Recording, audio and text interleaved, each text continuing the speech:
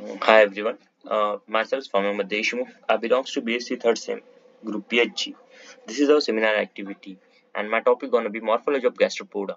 I'm going to submit this to Dr. Mayura Deshmukh ma'am. She is assistant professor and head of geology department at Shivaji Science Institute, Amravati. Thank you. Further, so content, it, which includes introduction. We have some diagrams here, definitions and the references. So let's begin gastropoda.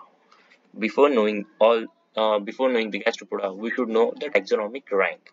What is the taxonomic rank? According to five kingdom classification, class gastropoda lies under kingdom Aluminia, subkingdom Invertebrata, phylum Mollusca, and then it comes class gastropoda. What is gastropoda? Gastro means stomach and poda means feet. It is the one of the main class of phylum Mollusca and gastropoda includes snails, whelks, limpets, etc. Some of the gastropoda are terrestrials, some are freshwater, while others are marine in nature.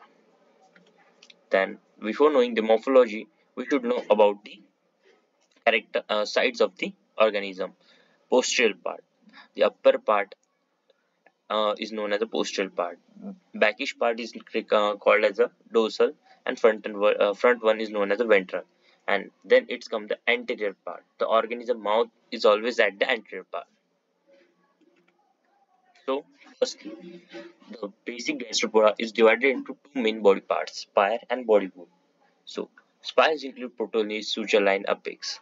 And spires are these most show the ornamentation and the body whorls the body whorls is the last whorl in which main organism lives.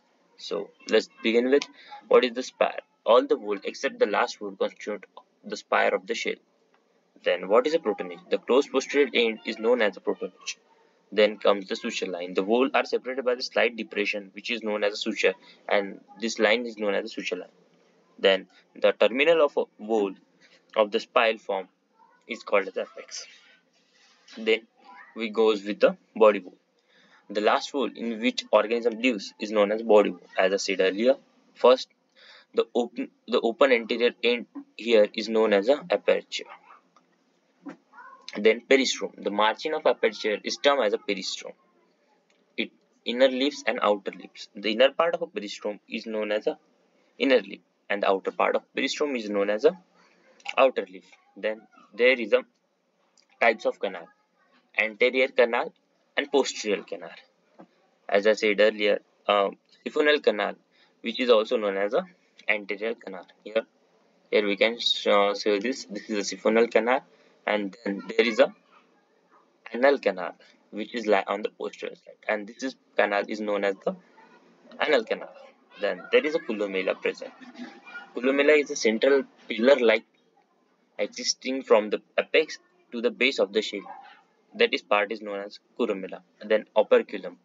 The aperture of a shell may be covered by the plate of potassium that is known as a operculum. Then to study the organization and organism and morphology, we should know about the types of ornamentation. There are various types of ornamentation which might be helpful for diagnosing or identification of organism. So first is the axial. This part is the axial ribs. Then there comes the sp spiral lines or concentrated lines. Then there are complex ornamentation just like nodes, cancellate reticulates, threads, vein, smooth, concentric lines, spikes. There are various. And these are the morphological characteristics of gastropoda. Thank you. Thanks for uh, sticking.